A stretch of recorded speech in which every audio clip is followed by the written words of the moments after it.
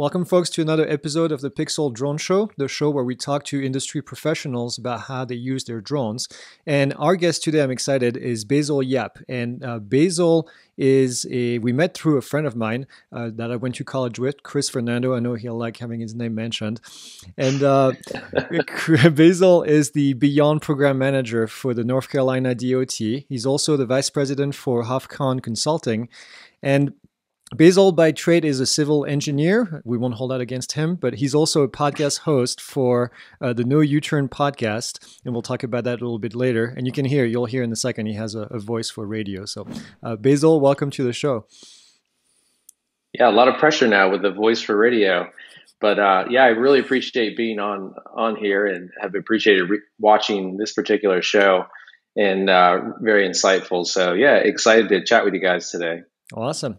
Well, before we dive into all the cool things you've been doing recently with drones and uh, the aviation industry in general, can you tell us how you get involved with aviation in the first place? Well, always have had a passion for aviation. Um, it's funny, one of my first memories um, I have is sitting on my grandfather's lap watching a propeller spin up. And this was when we were living in Hawaii. And aviation was a big part of flying between the islands. Um, and so that's one of my earliest memories, and have always uh, have just always had a passion for aviation. So when I was uh, in high school, worked at an airport. Um, always uh, loved going to air shows.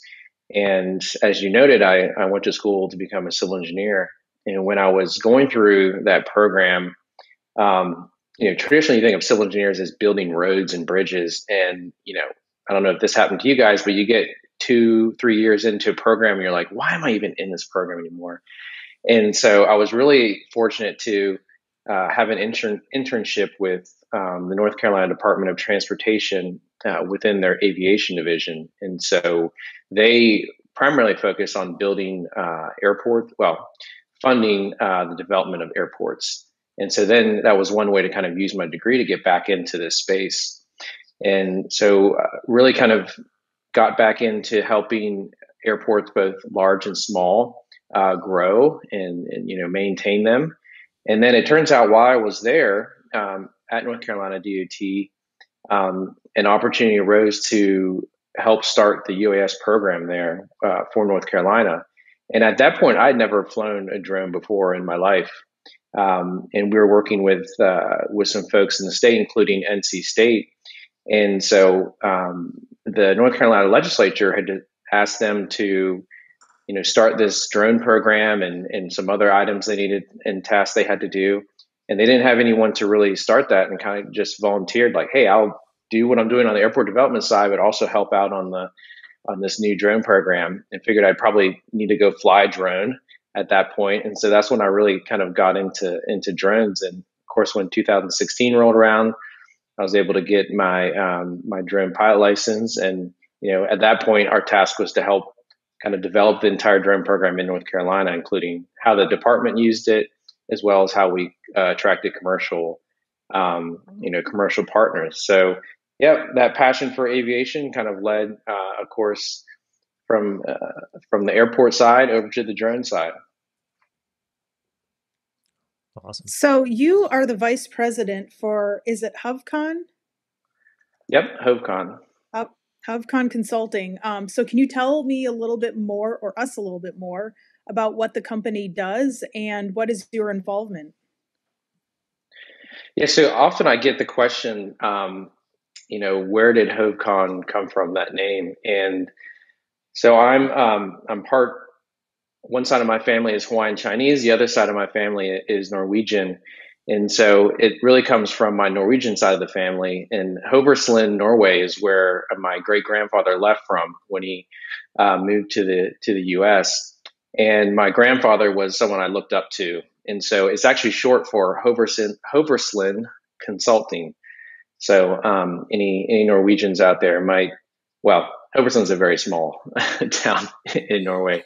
But that's HovCon, and that consulting firm uh, started back in 2016. So, as I noted, I was a state employee, full time state employee, and I decided um, I wanted to leave and share some of the knowledge I'd learned as a state employee with others And so I left in 2015, started uh, the consulting firm HovCon in 2016, and one of my contracts, um, you know, immediately after that was with NCDOT, and I, I came back and was an embedded um, consultant with North Carolina DOT as a UAS program manager.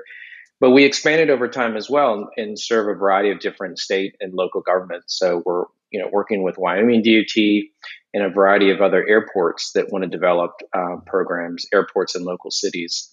And so that's that's really the services of, of HovCon. If you want to get you know a waiver, let's say a beyond visual line of sight bridge inspection waiver, we have the history. We helped NCDOT work with Skydio to get that.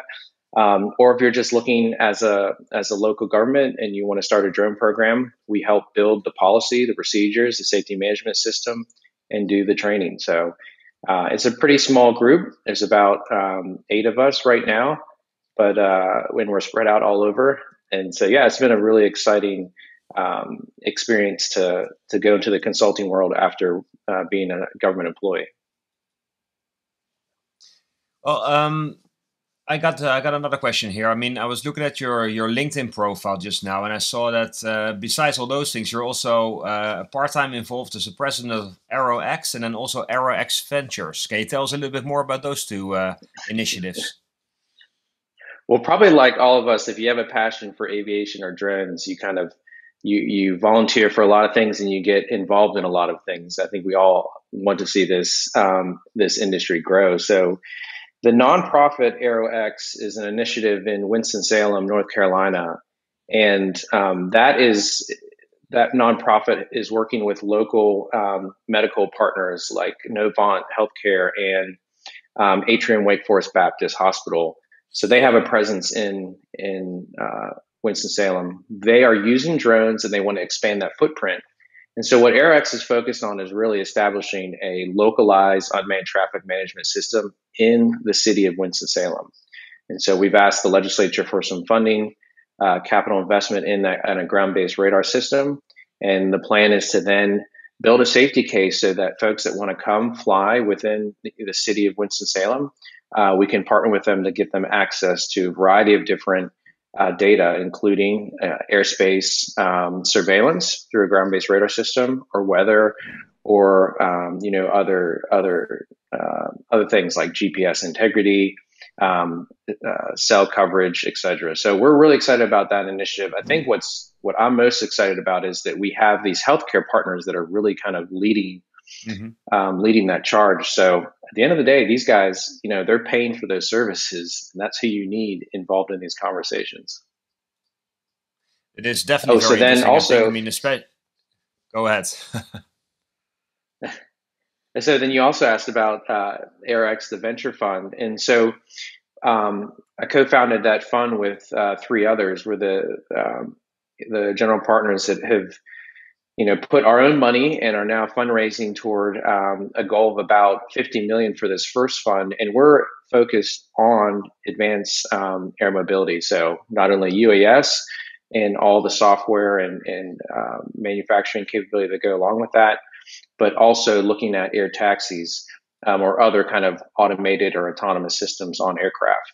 So uh, really excited for that to be kind of the next next phase for me and focusing my time and effort mm-hmm. and hopefully bringing my experience from regulations and some of these other programs to, to help startups and really let them grow in this space. I think it's definitely cool. I mean, if you look at uh, the healthcare system and drone deliveries, I mean, we've seen some examples where organs have been uh, transported by drones and as well for uh, COVID uh, uh, samples as well test samples. I mean, I think it makes a lot of sense. Uh, in that localized UTM project, is the FAA involved at all uh, in that as well, or is that something that is run purely local? No, the FAA, um, as we know, FAA needs to definitely to be involved. Um, and so the the safety case that we're building around, uh, you know, using a ground based radar system, the FAA is is commenting and and ultimately we need their buy off. Um, last thing you want to do is spend a couple million dollars on a radar system to find out that FAA is like, well, I don't really know if that's the right radar you need to be using. So um, at the same time, FAA is not going to give us a thumbs up and a, a, seal of approval if you don't have the equipment and you haven't validated it. So it's definitely a close uh, relationship that we're uh, that we have and and that we're continuing to to foster to to solve this problem. And I think solving it in a kind of a small urban area like Winston Salem um, that has an airport close to the downtown. So part of the airspace is is Class D or controlled airspace, um, and we have active partners already flying. Uh, I think that kind of gives us a leg up with uh, with FAA. So, speaking of this, let's talk about the IPP, which is the UAS Integration Pilot Program that the FAA created back in, I think it was 2020. And I know you were involved with this with the North uh, Carolina, the, DOT. Can you tell us how you were involved, kind of what your team did, and then how you contributed to the program? Yeah, so um, the U.S. Integration Pilot Program, we had heard rumblings in 2017, you know, that this program was going to come out and um, and so sure enough, uh, November of I think 2017. No, it was October of 2017. Uh, at the time, President Trump signed uh, a presidential memorandum to kick this program off, and so we had essentially from the time that memo got um, signed until I think it was January 4th, so about three months to write a proposal. And uh, so it was a proposal process that you need to submit and I know there were over 100 submissions um, that ended up getting uh, pushed in there. But what, at, you know, during those three months, we were trying to figure out, all right, how do we differentiate ourselves from, you know, our competitors? And, um, you know, we thought of the presence of a lot of different pharmaceutical and healthcare industry partners in the Raleigh area of North Carolina.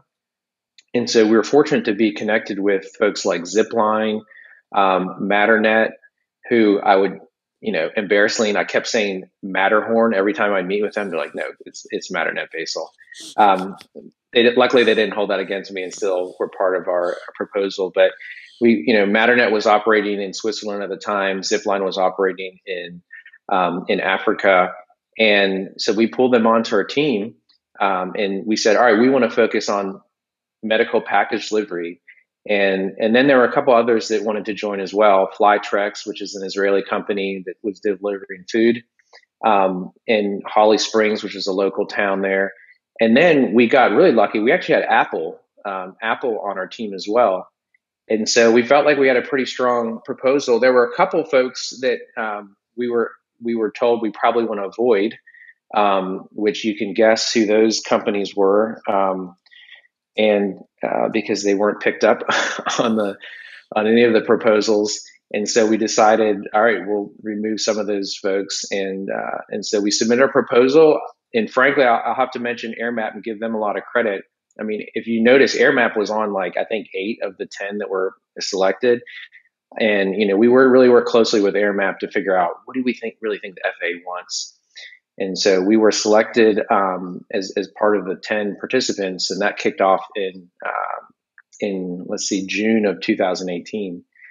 And so that wrapped up October of last year, October of, of 2020. And so we had about, you know, two and a half years. It was, it was really a three year program. Once we got up and running, it was about two and a half years. And some of our accomplishments there was, um, well, you asked about what was my role. So I was um, at the time UAS program manager. So I kind of led the whole program for the North Carolina Department of Transportation, and then um, led that whole initiative as well for um, the integration pilot program. And I had a couple other folks that um, helped me out with that. One of those was Tom Davis, who I got connected with. Um, he had just retired from NASA, had a you know had a full career at NASA, knew how to partner with FAA um, and was interested in drones, he moved from California to Raleigh. And so we, he joined our team. Um, and then we had uh, Dash, uh, uh, I think you had Dash on here a little while ago, Dash Devakran, yep. and, um, and others uh, that were helping support this effort. Randy Breedlove, he's a, he's a name uh, known in North Carolina. Um, he had a full career at FAA as well. So we had a really good kind of administrative team, and then we got really fortunate to have great team partners. So at the end of that three years, we were able to have the first routine medical um, package delivery operation established here in um, in North Carolina. So in um, in March of 2019, they, UPS started flying with Matternet at WakeMed, and they flew they flew Monday through Friday, nine to five, every hour on the hour. And we got a lot of data from that particular flight. UPS got their 135. They actually had the first 135 drone delivery operation um, in North Carolina with UPS. An interesting fact about that is they had an all women crew that um, that conducted that first flight. So two women pilots and um, and a mechanic. And so it's pretty exciting to think back, like the first official, you know, kind of drone delivery flight under this section Part 135 um, was was all women, and you know, uh, congratulate UPS for kind of understanding the importance of having more women in uh, aviation, especially in UAS. And then we also um, had some other great accomplishments. We were able to use uh, drones to help with the COVID pandemic. So Zipline was flying for Novant. Um, they're flying PPE uh, down in Kannapolis. And then um, we had uh, flying for Merck. Merck is a pharmaceutical company, and they were flying uh, vaccines from their pharmaceutical plant to a local clinic. Um, and those again, they're all routine flights. These were like on schedule, happening, you know, every day or Monday through Friday. And then we had um, UPS flying in Winston Salem as well with Wake Forest Baptist Hospital delivering infusions. So you know there was a infusion they would mix up in the pharmacy. You had to be infused in your body within one hour. They put it on a drone, fly it over to the clinic where um, you would take that infusion, and then on the way back they'd be able to fly specimens and blood samples. Um, and then also we kind of pivoted in working with Flytrex and Causey Aviation, uh, Walmart launched uh, a few locations. So we had, um, you know, Walmart uh, using drone delivery to deliver from a local store to a neighborhood near that store. And when we think about the impacts there for COVID, you know, folks were sheltering in place. And so I don't know about you guys, but I was using DoorDash, Grubhub a lot more than I would have pre pre-COVID, especially since a lot of the restaurants were closed. And now this was another mechanism um, with the drone delivery to deliver, you know, critical items that you may need from a Walmart and including some local restaurants to your home. So we were really excited when we looked at the data at the end of that program. Uh, you know, we were around well over half of the flights that were submitted under that program came from uh, North Carolina. We're competing, of course, with nine others for that. So we got, again, this is not me bragging at all. It's really the partners we had and the customers that were willing to pay for their service that really made that a success. I think it's awesome. I mean, a lot of times when uh, even on, on this show when we spoke to pre- uh, people previously, uh, Texas kind of serves as, as one of the states that is very uh, at the front line of, of uh, using drones uh, for commercial purposes. but if I just hear you list all these projects in North Carolina, there's been a lot going on in North Carolina. I think that's mm-hmm. that's really amazing. Um, I want to start talking about the Beyond program, but before we go there, you mentioned that Apple uh, got involved as well. Can you tell us more about how and why Apple got involved in the IPP in North Carolina? Yeah, so um, the, there's a legislative affairs um, uh, officer, I guess is what you, his official title was, um, that was actually from North Carolina that worked at Apple. And so during this proposal process, um, you know, I Google Wing was someone else we, we reached out to, but I was like, I don't know if anyone's talking to Apple, and I had no idea if they're even flying drones. And it turned out they hmm. they were flying drones. They're very secretive about, of course, a lot of what they did, and so it was like pulling teeth just to get something on a proposal that you know they were willing for us to share. It was just it was it was like pulling teeth just to get you know any information out of them. But they definitely were interested in kind of being on the proposal and being part of this program. There are a lot of unknowns. And so what we wrote in our proposal was that um, they were very interested in, um, you know, gathering data from uh, different platforms, including drones, to help serve their Maps app. So if you remember when Apple launched Maps, ah. um, it kind of fell flat, right? And so they're like, well, we got to figure out other ways we can collect data and just, you know, and, and you know, improve the traffic and um, you know modeling that we have on our platform. And so you know, drones was one of those platforms that they were interested in gathering that data. We got selected, and um, once we started getting you know flights up and running, we asked them if they wanted to come to North Carolina and fly, and um, they're like, well, really, we're you know they're focused on a couple other areas that they wanted to fly in California and, and up along the West Coast. And you know, we're telling them, well, you actually kind of have to fly in North Carolina to be part of the, the program. That's kind of the focus for North Carolina, and they're like, okay, well, so it turned out we never were able to get them to come out and fly during those those three years. And you know, just you know, I think it was recently that right there was a patent that just got released where we continue to see Apple move in the space, right in this drone space. So that's about all I know. Um, you know, when it comes to peeling the curtain behind the scenes of what Apple's doing with drones, um, they're definitely interested in working on it, but we never got them to fly in North Carolina. Yeah, I know that uh, for Apple improving their maps uh, has been a big deal and continues to be a big deal. So it makes sense for them to be interested in drones, I guess. Uh, now that the original IPP program is uh, a done deal, basically, and they've moved on to the Beyond program, I understand that you play a role in that as well. Can you tell us a little bit about what the Beyond program from the FAA is about and, and what you guys are doing in North Carolina? Yeah, so as the as the IPP or the integration pilot program kind of wrapped up, they recognized they hadn't really met, um, you know, a lot of the goals they wanted to. For example, they wanted to fly beyond visual line of sight. And so one of the things I didn't mention that we did under the IPP was we got the first um, beyond visual line of sight bridge waiver. So this was like the first kind of true BVLOS waiver. A lot of the BVLOS waivers we see, you still have to have someone clearing the airspace, right? They still need to be looking around to make sure there's no aircraft coming in. So you're just waiving the fact that you have to see the drone.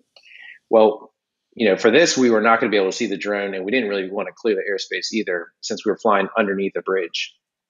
And so we were able to get that approval. I will have to say that that was an interesting waiver to get. Um, you know, our when we were getting that waiver, you know, you're talking to FAA and and talking about the safety case you have. They're like, well, I really think you need someone that's just looking around to make sure no aircraft are approaching. And we're like, we're flying under the bridge. Like, no, no one's flying under a bridge with an airplane. Well, as it turns out, sure enough, a lady in Ohio flies underneath a bridge and then gets in trouble with the FAA over it. And so, anyhow, we end up getting that waiver with no nobody to have to clear the to clear the airspace. It was really a true BVLOS waiver. But that was there was only a handful of waivers like that under the IPP program that were approved. And so back to your question about Beyond, Beyond was going to look at just that beyond visual line of sight. How do we really commercialize beyond visual line of sight? And they and they started this work with these partners. So they said, sure, let's continue this work. It'll be under a new name. Um, because of course the presidential memorandum, you know, said that they had to stop the IPP, so they stopped the IPP. They invited all the participants that were on the um, IPP to the Beyond program. Um, at that time, there were only nine. Uh, one of the original 10 had dropped out, and that was the Lee County Mosquito District in Florida. They dropped out. And then of the nine that were asked to participate, eight transferred over. City of San Diego, which was on the IPP, didn't end up joining the Beyond program. And so the Beyond program has been really kind of a continuation for us in North Carolina. All the same partners we had on the original IPP um, program, we added to our Beyond uh, program. And then we've also added a few new ones as well, including, um, you know, recently we've added Xwing. So if you're familiar with Xwing, um, if you watch any of the Star Wars series, no. If you, Xwing, as you know, is the uh, is where they're taking you know existing type certified aircraft and putting uh, you know some automation and uh, remotely piloting them. And so we're excited to both have small drones, right? You know, 55 pounds and under, and you know larger ones all the way up to kind of you know, potentially flying this caravan, Cessna caravan that's optionally piloted in our airspace. And my role now, I'm, I'm contracted back to lead that program. So I'm the Beyond uh, program manager there at North Carolina DOT. Um, and it's kind of, it's really just a, part-time role that I fill uh, as we continue to work toward our goals under the Beyond program. I think it's so awesome that it was all women who did that maiden UPS um, delivery flight. I had no idea. So thank you for sharing that. I think that's super cool. We'll have to have some of them on the show. Um, but getting onto it, a big portion of integrating UAS into national airspace um, relies on remote ID. Um, so can you just tell us what role you think remote ID is just going to play? In that goal going forward? Yeah, there's been a lot of hype around um, remote ID as um, you know. I think back to some of the conversations we had in the early days of the of the IPP when we wanted to, when we talked about being able to fly beyond visual line of sight. And so some of the comments we were getting back from FAA was, well, we got to figure out this remote ID, um, you know, what, what that requirement is going to look like. And of course, it's out now, and, and we have um, some requirements in place for when uh, everyone needs to be broadcasting in the future. I think this is a really great uh, step forward for the industry as a whole. Um, you know, it, when we think about UTM, well, there's a lot of different things. So maybe I'll start with even at a local level. Um, you know, we we've seen a lot of state and local governments um, enact laws around UAS, and so uh, you know, there's obviously a lot of legitimate concerns. You know, in North Carolina, there's a law around um, you know using a flying a drone near a prison. Um, they have we've seen drones and and have captured and have you know documented drones being used to smuggle contraband into prisons. Um, and so that's an example of uh, you know the, the, role that remote ID could potentially play in the future um, in helping understand drones flying around uh, these confinement facilities or prisons. Sometimes these are right in the middle of of cities, right? And there's other folks that want to be flying. You know, maybe an energy company wants to be flying because they're inspecting a line. And so if they're able to broadcast, you know, who they are and their intention, uh, someone like a uh, a correctional facility will be able to understand. All right, this is not someone we need to worry about. It's a you know, it's a utility company flying here. But if someone should be broadcasting and they, see a drone and they're not broadcasting, there's going to be more concern um, and focus on that particular individual. Uh, so that's kind of at a you know a local level. But when we think about building this UTM system, we kind of needed somewhere to start as well. Uh, and so folks being able to broadcast again who they are um, and their intentions is going to be very helpful um, as well. And so we're trying to figure out a way to integrate that now into kind of the entire system. What sensors do we need to have on the ground? Um, or, you know, is it going to be through a network? And I think, you know, having sensors on the ground in a city, understanding where folks are flying will be very helpful for a variety of different reasons. Um, again, public safety at a local level, um, as well as kind of figuring out how we can fly beyond visual line of sight in the future. So, um, so yeah, I think there's I think there's a lot of potential, um, and and uh, we're excited to see the adoption. I will note that you know, remote ID came out. We have a couple partners we're working with um, in the certification process to get their their UAS certified. And so again, uh, they're gonna have to go back and see how do they add on that you know correct module for their particular um, platform they're being this being certified. So uh, overall, I think it's a great um, you know progress for the industry. I think it's great again for local and, and state governments as well, kind of have an understanding of what's happening in their community. Um, any major partners that you can reveal or we should know about? Well, we um, we're still under NDA with I think all of them, so not not quite okay. yet. we can. All right. It's all good. Now you mentioned remote ID. The location of the aircraft is critical for uh, you know the integration into the airspace. How about the location of the pilot, which is you know one of the very controversial piece of the regulation where the location of the pilot is going to be available to the general public. Uh, do you think that can create an issue for the drone pilots getting harassed because their location is broadcasted to everyone and anyone? Yeah, I think it's a great question, and I don't, I don't know. Well, there's a couple of comments I'll make. You know, we talk with folks like the UPS and others that are doing drone delivery, Zipline and Causey, um, Aviation and Flytrex and, and Volansi. Honestly, their plan in the long term is to have a pilot, um, you know, remotely at a at a place that they're operating multiple drones, right? And so in, in some cases, like drone delivery, the pilot location, they could be flying, let's say in Winston-Salem, but the pilot location for that aircraft may be in, you know, it could be on the West Coast. It could be in, um, in DC. It could be where you guys, where you are. So it may not be um, within close proximity of to where the operation is taking place.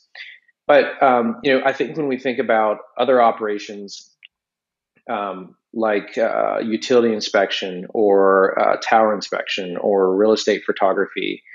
Um, I think there there needs to be some questions asked about, like you said, the safety of an individual, um, especially when the police um, maybe are called or public safety is involved. I mean, we've talked with a lot of um, we've talked with a lot of local public safety officials in North Carolina. When I was wearing the hat of UAS program manager, we get calls about, hey, there's a drone flying over my house. I want to know who's flying it. And, you know, we'll talk to the police and they'll say, we don't know who's flying it. Like, do you have any recommendations? And of course, the recommendation at the time is, yeah, more than likely it's not going to fly for longer than 20 minutes. So just hang around and see where the drone goes and lands. And that's probably where you'll find the individual. So um, I think if it, it, depends on who has access to um, to that data. I do think there's value in, of course, public safety having access to that data, but uh, I'm not entirely sure that it's going to be super valuable uh, for individuals. Um, so I guess I'm really kind of treading around your question. Beyond to be to be honest, it's a it's a good question that I don't think I really have have the right answer for. No, I understand. I don't think any of us have the answer, quite frankly. So yeah. I, I think one of the, the problems here is that remote ID is almost like a one size fits all situation, right? Um, and I think if you look at the different use cases for drones, I mean, if you look at um, uh, Google with Wing, for instance, or you look at what Amazon is planning on doing, and you compare that to, let's say, hobbyist drone pilots or FPV drone pilots, I mean, we're flying drones in very different ways and, and in very different circumstances with also very different kinds of drones. And I think remote ID right now doesn't really allow for for all those different use cases because they have like one solution that is supposed to fit for everybody. Uh, what, what's your opinion on that? Yeah, it's a great it's a great comment. You know, one of the things we heard from um, you know the drone delivery partners, what they're they're concerned about uh, broadcasting their location and people being able to understand, um, you know, where how many neighborhoods that they're flying to and, and aggregating a lot of that data about flights, right? And uh, is and how that intelligence from all that uh, data aggregation would help, um, you know, their competitors.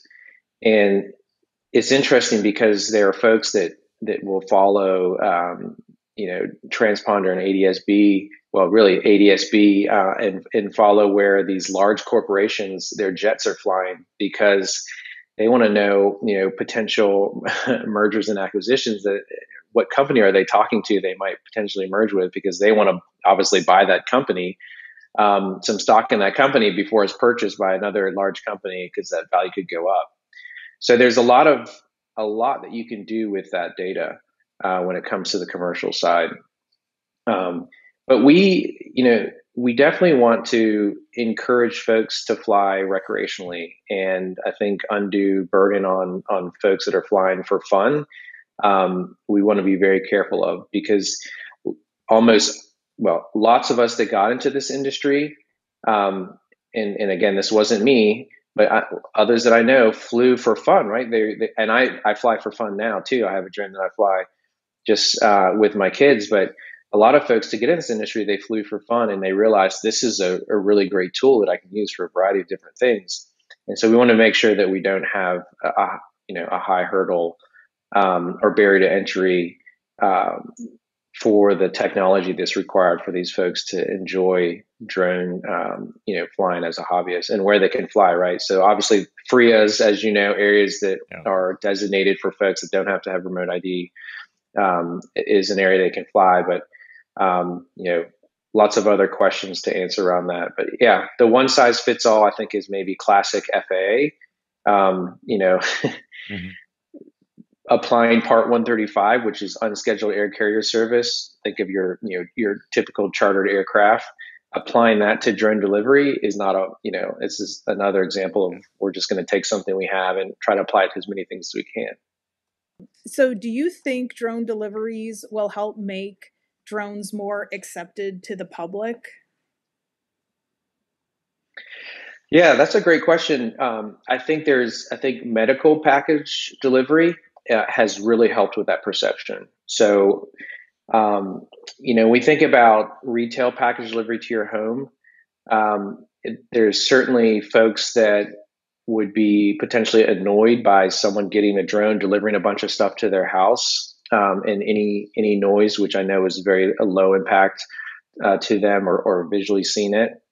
But if um, but you know, starting with drone delivery for uh, medical use cases, where we're saying, hey, we're you know we're potentially saving a life by this this delivery or we're improving healthcare outcomes i think was um, you know that was our focus under ipp and, and i think that was what really got folks excited about drone delivery and there's a lot we can learn from having these fixed locations within a, a medical campus or kind of a medical network to start delivering um, items um, for customers um, like these healthcare institutions who are willing to pay. Uh, and then some of the lessons learned from that can certainly be applied to retail kind of package delivery. So you have to look at kind of the, the, the whole picture. I mean, you know, lots of other use cases we can think about, like, um, you know, flying critical tools are uh, are critical components um, out to someone who's working in the field. We think about uh, you know drone delivery to the to the oil platforms in the Gulf of Mexico, or someone's deep in the woods and you're using a drone to deliver you know a critical item that they need, whether that's uh, you know they need it personally for their health or they need it for their vehicle or car or something broke down. Um, we see a lot of potential, and then of course natural disasters, whether that's um, the devastating wildfires or um, you know uh, earthquakes, or even you know in North Carolina we had a lot of hurricanes. Um, there's a there's a great use case for delivering critical items uh, via drone delivery as well. So this is kind of all of the same equipment can be used in those different um, missions, uh, and so it just helps. The more operations we can fly, can I think builds this um, builds this ecosystem and lowers the price because at the end of the day, we will have to make a decision. If I'm ordering something from Amazon, do I want this today via drone delivery, or can I wait for next day or two day? And so uh, we need to get the cost low enough that it's really competitive. Um, and a follow up I have on this is I've heard some concerns voiced that as drone deliveries become more common, it could potentially um, restrict flights for recreational or um, even commercial operators that aren't in delivery. Do you agree with that? Do you think there's going to be a threat at all, or is it going to impact um, where people can fly, especially in urban areas? Yeah, I would add. I, yeah, I think definitely in urban areas, it would it, we'd have to look at the data. Um, I mean, I'll be honest. There's a lot of airspace out there, and when we think about um, package delivery, uh, they are going to definitely be at a higher. Well, they already have to meet a higher bar of safety um, including the ability to detect where other aircraft are. And and so back to my kind of previous point, we're just going to have to see where the numbers shake out and what someone's going to be willing to pay for um, will really drive the adoption of who will be ordering um, and, and, having things delivered to their homes. And um, and so if the numbers are not as high as we think they are, this may not be an issue, right?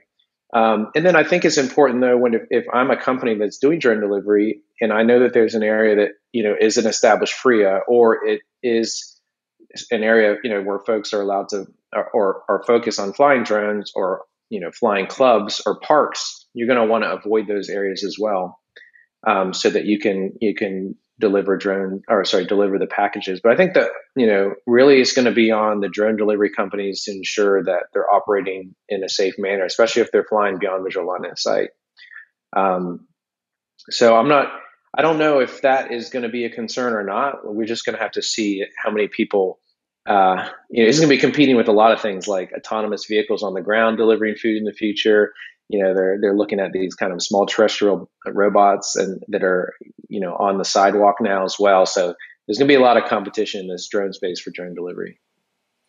So you, are very involved with UAM, urban air mobility, which we're going to talk about in a few minutes here. Uh, but the do you think UAM combined with the impact of large scale operation like drone delivery for example is going to have an impact on noise in especially in urban environments um, is this something that you have been concerned with or, or that you're working towards or see any projects that are working on that yeah so I am not I don't think noise is going to be a concern. I think traditionally in aviation, we've we think about noise, and it's been a huge focus. Um, you know, really ever since the turbine engine. Um, well, even before the turbine engine, because we have a court case here in, in, North Carolina where there was someone flying um, you know, into into an, uh, a Navy base, I think, and the guys' chickens were being scared from the noise. But noise certainly has always been an issue around airports. I saw that before I got into drones, working on the airport side, and so naturally, folks think of the noise associated with uh, with drones or even eVTOLs. But um, there's a couple things that I think are driving why they're not as as noisy. Um, one is they're obviously lighter. Um, they're lighter and um, and then they're electric powered, and for so you're getting a reduction in obviously a turbine engine, um, and they're lighter, so it's not a, as heavy um, of an aircraft. Which, as we know, the heavier aircraft get is also going to be louder, especially for you know rotors on the on the um, on a helicopter. Um, and they've made some improvements on, of course, the blade design as well. But we would, you know, all of these places I mentioned in North Carolina that we've been flying, I've been to the sites, I've seen them. And as soon as they transition out of kind of, you know, the vertical takeoff or landing portion and start flying, you can't even hear them. And you really can't hear them in urban areas. So I think of that first flight at WakeMed where they're flying routinely. I mean, they're flying over roads, and you would really have to uh, listen hard to be able to pick it up. But there's a lot of other ambient noise that's being picked up. And then, um, you know, one other thing I didn't mention was uh, in in January of 2000 um, or in January of 2020, we let's see, was it 2020 or was it 2019? It's all blending together now. We we partnered with EHang. Uh, it was 2020. EHang to fly their eVTOL. So if you remember uh, mm-hmm. EHang 216, it has 16 uh, propellers on it. Um, it's electric powered and you know that was really silent i mean it was a lot quieter than a helicopter and so again i think about the noise is primarily in that takeoff or landing portion of the flight but when they're transitioning in flight um, and flying they're they're very you know the, the, noise impact is is really not there. And you've seen this from joby right? You know joby had the video yeah. um, where JoeBen was out there and he's talking to the camera and, and their aircraft is taking off behind him and it's really quiet. You talked about initiatives, and under the Beyond program, we actually FAA came out and did some testing in Liberty, North Carolina, and we flew three different drones, and it was a complete setup. I don't know. I think there was probably 12 or more microphones they had arrayed. We had a crane there that had microphones hanging off of, you know, of the crane all the way up to 100 feet. And it was the, it was the noise profile process that they use for everything from, you know, F-35s to helicopters. Um, and so we followed that same procedure and flew three different platforms there so they could gather that data. So we're waiting on FAA to kind of, that this was this summer. They've told us they're looking through that data and they're developing noise profiles. And so we'll be able to see like really what is the decibel level and how does this noise impact fit into their traditional models of how they, you know, model noise in communities. You know, they've done that for, for years with airports and, um, and then heli- helicopters and your traditional aircraft. So I'm hoping we're going to get some good guidance from FAA soon around that. Good to hear. So we started uh, talking about urban air mobility. Can you explain to our audience uh, what that's all about? What kind of aircraft are involved, and what the challenges are, and where basically the technology is nowadays?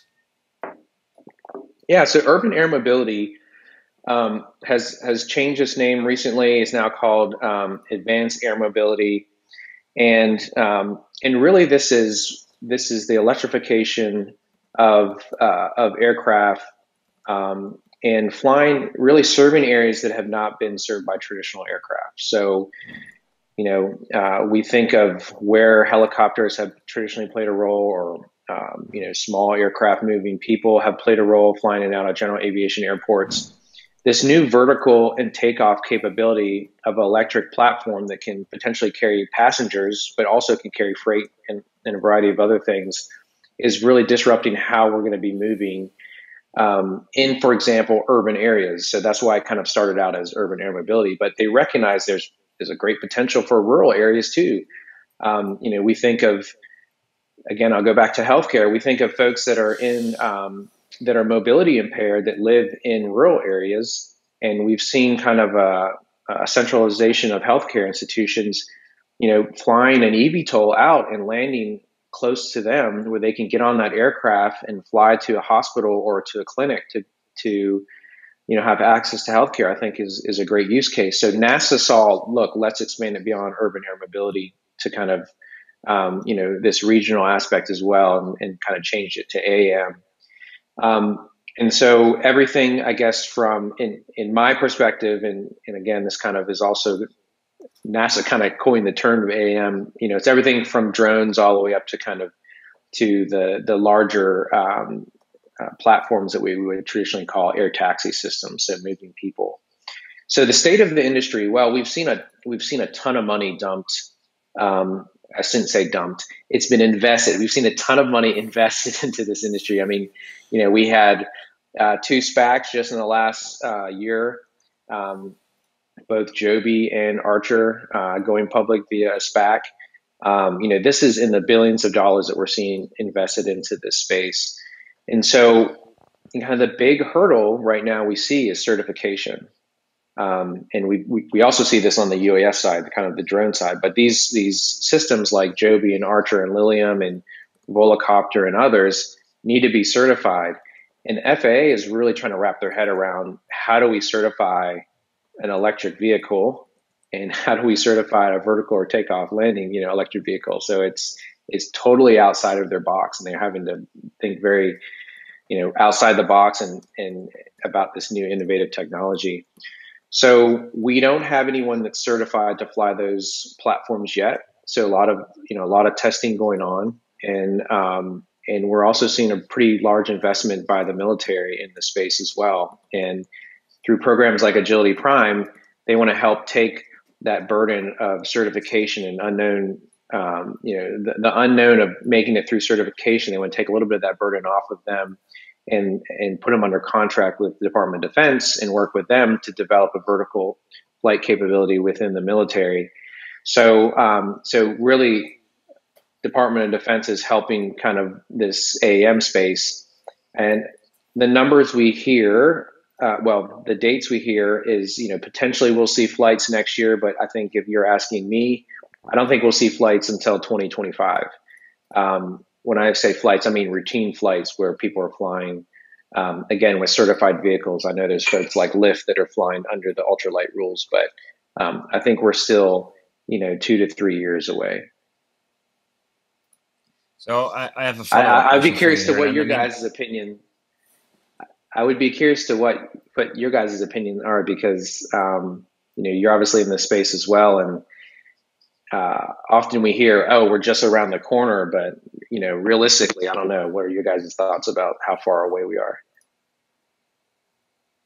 Well, that might tie into uh, to my next uh, my follow up question as well. I mean, um, with the drone industry itself moving so fast, and then we're not even talking about urban air mobility and all the air taxis and stuff.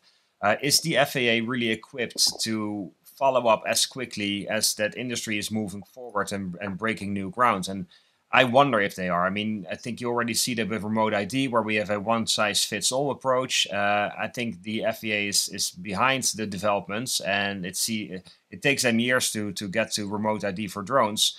With the other things that are help uh, that are changing, like urban air mobility, uh, I just wonder how they're going to catch up. And uh, I guess then, secondly, it comes to the question when do they catch up? So I think it's going to be years as well. I mean, uh, we heard uh, Jeff Bezos say, what was it, in 2013, I think, that uh, drone yeah. deliveries would become a routine uh, experience for people. And now here we are in 2021. It's far from being routine.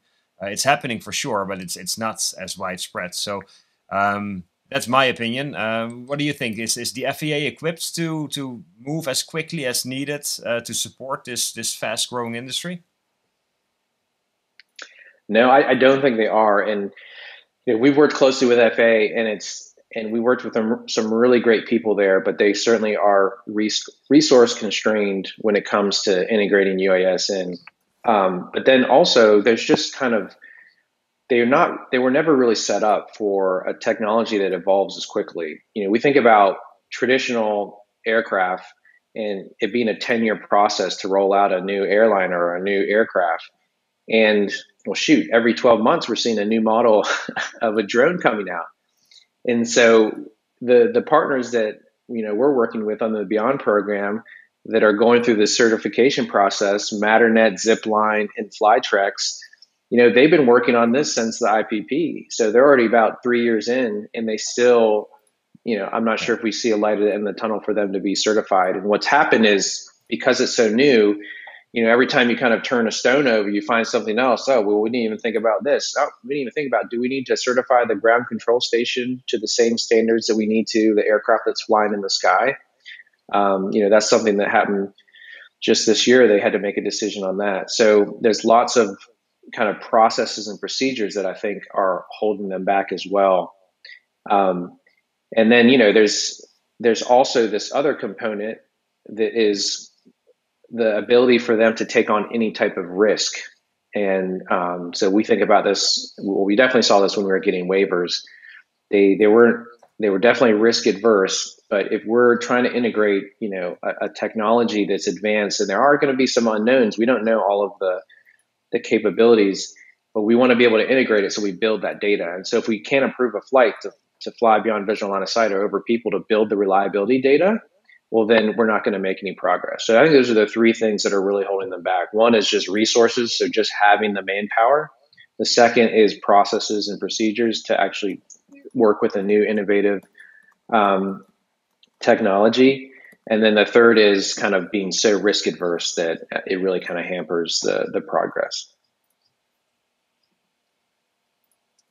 So you've been uh, involved. One in more question that I want to. Oh. Okay, go go for it, Haye. Can I squeeze one in, Kara? There's so much to talk about here. I think. yes, yes. I, I, think you, what, what you see happening. No, I think what you see happening is that, uh, and Zipline, I think, is a great example. I mean, where where is most of their uh, drone delivery flights taking place? It's happening in Africa, and a big reason for that is that the regulation isn't as strict over there as it is here in the United States. Mm-hmm. So um, apart from the FAA having a hard time dealing with a industry that's moving so rapidly, I think there's also a risk of uh, new innovation just moving out of this country and developing elsewhere. And it might be in Africa, could be could be anywhere in the world where uh, regulations aren't so strict. Uh, is is that something, uh, Basil, you think we should be worried about? Is that innovation and technology and therefore talent as well moves out of the US to areas where drone technology is being used uh, more widely and in more innovative ways?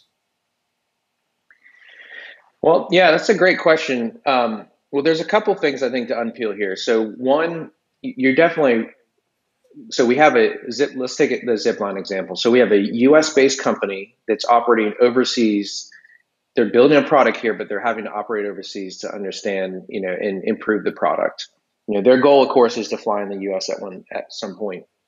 Now, yeah. Um, in Africa, they we don't have the same, or they don't have the same traffic density as as we do here in the U.S. So they they can be a little bit more lenient. And then something that really kind of is either I don't know if I'd say hinders the U.S., but it's just part of the fabric of this aviation community. Is we have a Class G airspace, which is uncontrolled airspace, and I can go out there and fly and I don't have to talk to anybody and I can just look around outside, you know, out of my aircraft. And as long as I don't hit anyone else, I can fly in that no issue at all. And that's not found in a whole lot of places in the world. And in addition, I don't even need a license to fly. And some, I could, you know, under these ultralight rules, I could go get a parachute and a, and you know, these, a backpack that has a lawnmower engine that's spinning a blade and it's considered a vehicle by FAA. And as long as I don't fly in controlled airspace, I can fly around as well. And so what that so having that access to um, our airspace, both for you know at a recreational level um, in in the Class G airspace, is great, right? That's that's great. We can get more folks flying with less cost in you know what uh, the technology they're required. And so this is kind of the position you've seen AOPA take. But um, but that also opens up a lot of questions on how do we uh, fly drones in that same space. And so I think I do think that's why we see a lot of folks going overseas. One reason is um, they can work with a regulator directly in maybe an area that's not as congested as the U.S. and fly. That it, you know that's willing to you know partner with someone and take some risk. Um, in the in the case of, of Zipline flying in Rwanda, I mean they were able to just provide tremendous improvements to how they distributed blood by those operations. So there's a huge benefit for them there. Um, and and then uh, you know your question about are we going to lose talent to go overseas? um, I think we still see folks wanting, you know, the U.S. is where aviation started with the Wright brothers on the Outer Banks of North Carolina. You know, we've long had a leading position. I think our position is maybe called into question a little bit after the Boeing, um, you know, issue, 737 Max issue, and you know, I think we are going to potentially get behind. Well, we already are in some ways. I think behind on the, on integrating UAS. Um, but I think folks are still going to want to come to the U.S. because it's going to be the largest market, and we're known for you know being innovative. So um, I'm hoping we're not going to lose folks on a lot of startups that I've talked to. You know, they're also outside of the U.S. They definitely want to have a presence in the U.S. because they know if they can get their drone certified or their platform certified in the U.S., they can they can go to almost any other country in the world and hold up that certificate and be accepted. So we just got to keep that gold standard. So you have been involved in several efforts um, as far as educating younger generations on the aviation industry. Um, what what does that entail, and why is it important to you? Yeah, we've been you know really fortunate to work with youth, um, getting them excited about science in in general, STEM or STEAM as it's called now, uh, with adding arts in there um, and getting folks excited, um, just getting them exposed to what their opportunities are after school or just exposed to technology in general um, is something that I'm, I'm definitely really passionate about and excited because um, I've talked to a lot of folks that have gotten into aviation or the UAS industry and they can pinpoint it to a certain conversation or a certain experience um, just talking with someone, you know, last a few weeks ago, and they were working, you know, in high school. They went and visited an air traffic control center and had no idea. You know, they never flown on a plane before in their life, but that particular experience really got them excited about aviation, and they ended up having an entire um, career in aviation. And so, um, so that's why I think it's it's really important to get kids excited about science, uh, using drones um, and, aviation in general. And you know, one thing we're definitely I'm, I'm definitely passionate about is just getting um, you know a, a, broader group of folks, a more diverse group of folks in aviation as well.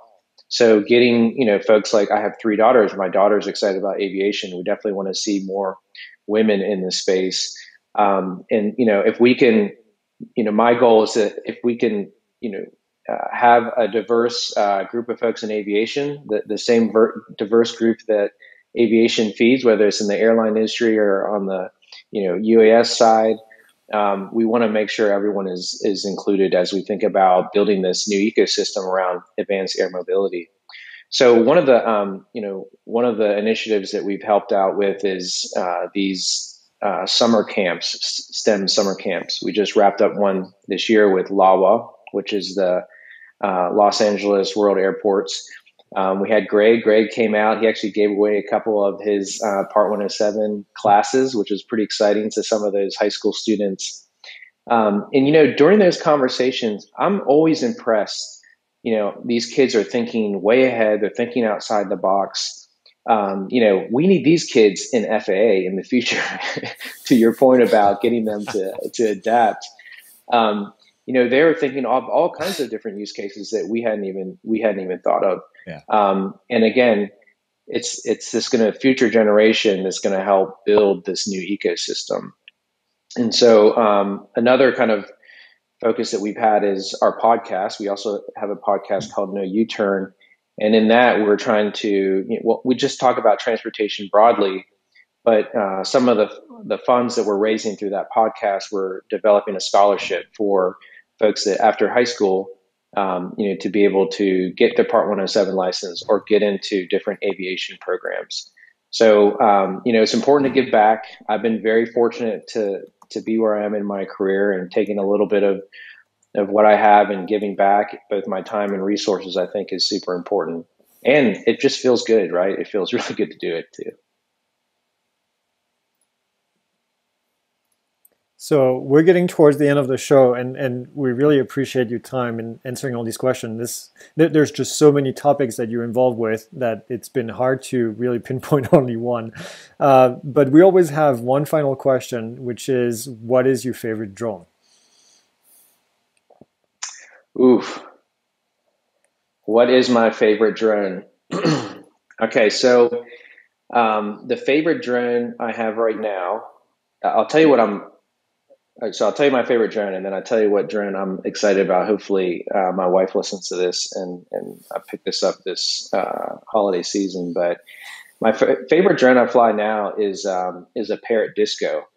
Um, I don't know. You're familiar with this? It's like a fixed wing uh, made out of uh, made out of styrofoam, really light, but styrofoam, it is yeah. a blast to it's a blast to fly. And, um, you know, it comes with goggles. Of course, you got to have a visual observer, make sure if you're flying under part 107, you're maintaining the visual line of sight. But you can just get that thing down and it gets screaming across the ground. And um, that has been the most fun uh, drone I've flown. I'm looking forward to um, my first. Well, I have a small FPV drone now, but I want to get a, a much larger FPV drone um, I've been, it's just impressive these cinematic FPV shots I've seen. Like it's, it's amazing. Um, and I hopefully can uh, reproduce some of those. I know, Kara, you're doing some great things on with photography and, and drones. And um, I don't know if you've gotten into the FPV yet, but I'm just super impressed by not only your photos, but others that are taking these incredible shots. And so that's a, that's a hobby I want to start pursuing. Oh, thank you so much. Um, I will admit that the first time I switched a DJI FPV drone into manual mode, it crashed. Um, I tell anyone it is an entirely different experience. And I talked to a few other fellow reviewers, and they said, oh, well, my rep sent me two because they were just expecting that to happen. I don't think people realize how difficult it is because um, you're just constantly maneuvering the joysticks. You're not hovering unless you're in normal or sport mode with the DJI FPV drone. But a um, typical FPV drone, though, you are constantly maneuvering. And so um, I know Drone Racing League has um, a simulator, and DJI created one. And I just tell people go spend time in that simulation and, or um, learn to build something lightweight that if it crashes, it's more resilient. Um, while DJI has done a lot of great things with their FPV drone, if you do crash it, it's very likely that you are going to send it in and you should have DJI care as well. But that is something I do want to get really good at because um, Cola FPV, Johnny FPV are just um, creating some phenomenal shots. And Johnny FPV just actually um, created a commercial with Mercedes. And so seeing artists like Justin Bieber and major brands embrace FPV drones um, is just really encouraging. So I think it's something who did the all... um, who did the commercial for the bowling alley where they're flying through that bowling alley? Jaybird Christensen. Have you seen this one recently? Oh my oh, goodness! Oh yeah, that I actually covered blew my mind. Review. Yeah, and that was. Oh, that's um, great. I can't remember. I can't remember the model he used, um, but more of a lightweight and um, just something that he actually, when you see it go in, I think to the bowling pin area, he was. It, yeah. He placed it in there. The drone fell in there, and then he was just able to get it out and keep flying. So just more of a resilient model. Um, I can't believe the model is. Um, I'm blanking on it right now, but yes, uh, Jaybird Christensen does some phenomenal work. Um, him and his company, I think they're based out of Milwaukee, Wisconsin. Yeah, they started wow. a whole new trend of uh, of drone flying. So, all right. Well, Basil, yeah. it's uh, we really appreciate your time today and talking to us about everything that you're involved with. It's definitely been a pleasure. Uh, for those of you that are interested in more information, Basil is on LinkedIn. Uh, they also have the No U-Turn podcast that you can listen to on your favorite uh, podcast provider. I tell you, I don't listen to many podcasts. I think I have three or four, but you guys are definitely on my list. So uh, I listen to you when I run and when I do stuff around the house. And um, if you enjoyed the PiXL Drone Show, make sure that you subscribe subscribe and share on social media as well.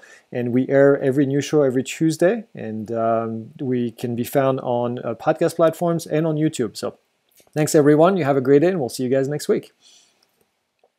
Thank you.